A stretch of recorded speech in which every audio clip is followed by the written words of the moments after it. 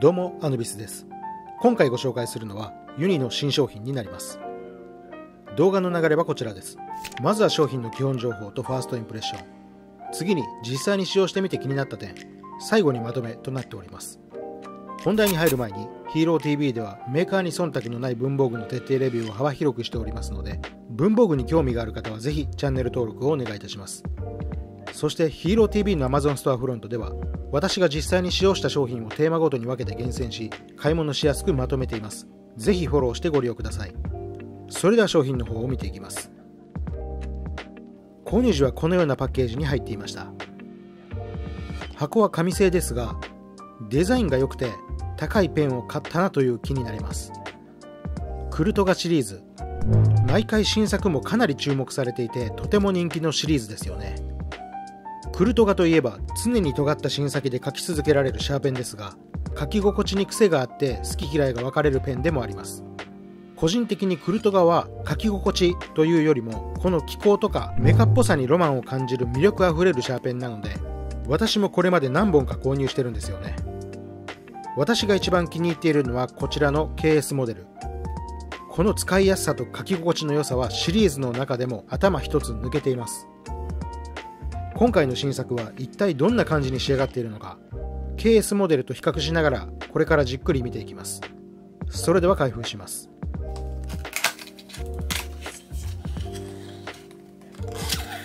こちらがユニの新商品。クルトガメタルになります。価格は税込2750円。商品リンクは動画の概要欄に貼っておきますね。いやまずペンのデザインがいいですね。かっこいい。カラバリはサイレントブルーファントムグレーノクターンブラックの3色展開。私はノクターンブラックを購入しました。どれもいい色ですよね。おそらくこの先限定色なんかも当然発売されるんでしょうね。ちなみに神経は現状の 0.5mm のみです。軸はアルミ製。表面にはブラスト加工が施されていて見た目で金属の重厚感を味わうことができますが実際には KS モデルと比べれば重いですがそこまでの重さは感じません。軸正面に神経とメーカー名商品名が印刷されています。通常正面に印刷がある場合こちら側にクリップがあるのですが正面にクリップが来ているのもクルドガの特徴ですね。ケースモデルのグリップはエラストマーグリップだったのに対してクルトガメタルは軸の半分近くがグリップとなっていて深めの溝が入っています。グリップの表面はブラスト加工プラスよく見るとさらに細かいラインが無数に入っている引き目加工が施され質感がとてもいい。ブラスト加工は大きく分けて乾式と湿式に分かれます。乾式がサンド、ブロワ、ドライアイス、吸引式など5種類。質式がウェットブラストウェットショットブラストといろいろ種類がありますがメーカーからどの加工処理を行っているのか明確に発表されていませんのでこのチャンネルでは明言を避けておきます。この細かいラインが指に吸着するような感触で軸が滑らないんですよ。このグリップ感が最高。これをマイルドエッジグリップ加工と呼んでいます。クルトガメタルには芯が回って尖り続けるクルトガエンジンが搭載されています。このエンジンは従来のクルトガ特有の沈み込みが軽減されている改良型を積んでいます。実は KS モデルと同じエンジンなんですね。先ほども言いましたが KS モデルはシリーズの中でも最も書き心地がいいので現段階でさらにこちらのクルトガメタルの期待度が爆上がりしてしまいます。こちらの小窓からエンジンが稼働している様子を見ることができます。クルトガは従来ペン先に近い位置にエンジンが搭載されていましたが近年位置の調整が図られ今は中央付近まで後退しミッドシップ型となっております。口金は真鍮製ご覧の通りペン先に向かって階段状に細くなっていく形状。クルトガは筆記の際に生じる縦の振動を利用して横に回転させて芯を尖らせているのでこのペン先の沈み込みは必ず必要になってくるのですがここが書き心地を悪くしているモルハの剣なんですよね。しかしそこを改良すべく KS モデルの改良エンジンに加え実はこちらに2部ダンパーといってクルトガ特有のペン先の沈み込みを感じにくくする工夫がされています。ついにダンパーまでついたんですね。ケースモデルではカチカチという音がしていたのですがこちらのダンパーのおかげでさらに沈み込みを感じにくくなっております。いやすごいな。ただダンパーとなるとこの寿命が気になるところですね。どのくらいの期間正常に役割を果たしてくれるのか今後使っていく上で注目すべき点ですね。では内部機構を見ていきます。グリップとボディの境目から外れるようになっているんですがかなり硬いです。なんでこんなに硬いのかなと思ってたんですがよく見たらこちらにオーリングが採用されています。オーリングがあることで簡単には回らないようになってるんですよね。細かいところまでこだわっています。ケースモデルのネジは樹脂製だったのに対してクルトガメタルは金属同士の結合部となっております。新タンクは樹脂製でチャックは金属製。クリップはこちらのクルトガダイブとほぼ同じ作りのものが採用されています。薄くて硬さも柔らかめです。今回のクリップの長さは短めに設計されているので筆記時に手に当たることもありません。至れり尽くせりですね。クリップ付け根にはジャパンの文字が入っています。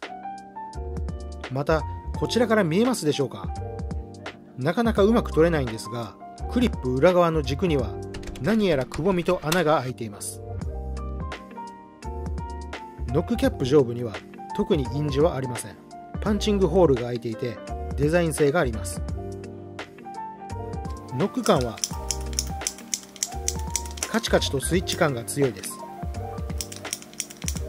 こうやって並べて比較すると分かりやすいと思うのでケースモデルとノック部の遊びを比較してみましょうか。ケースモデルはここまで沈み込むのに対してクルトガメタルは遊びが少なくなっています。消しゴムはついていて芯の詰まりを解消できるクリーナーピンはついていません。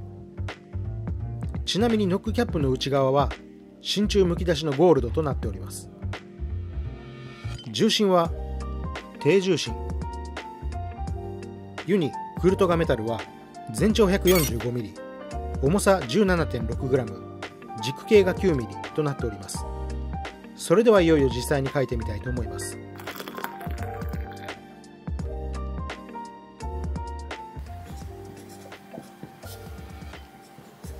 うん。書き心地がかなりいいですね。ダンパーが効いていて沈み込みが非常に感じにくい。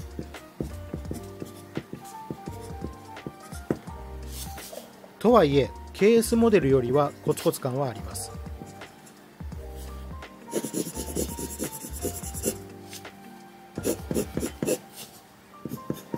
しかしクルトガで書いているなという感覚はやはりあります、まあ、それでも十分ですね。素晴らしい。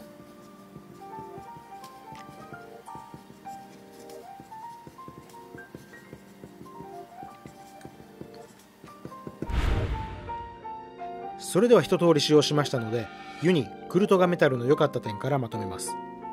デザインがかっこいい書き心地がいい重心バランスがいいクリップがよく効く質感がよくこだわりが詰まっている。次に気になる点ですがグリップにホコリがつきやすい。どうしてもこの溝に細かいゴミなんかが入って取れないのが唯一気になった点です。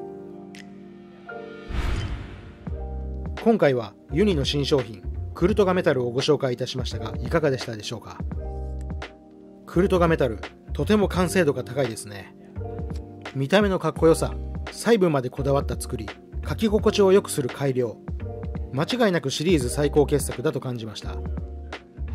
でもねケースモデルもかなりいいのでどちらがいいかというのはこの辺りは好みだと思います。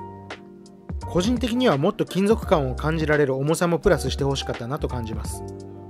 こちらは限定販売ではありませんが昨今各メーカーの新商品の流れを見ているとクルトがだいぶほどではなくても文具店への入荷数が非常に少なくなる可能性がありますがぜひ動画でのレビューを参考に購入を検討していただければと思いますユニクルトガメタル気になった方はぜひチェックしてみてくださいねそれでは今回は以上となります。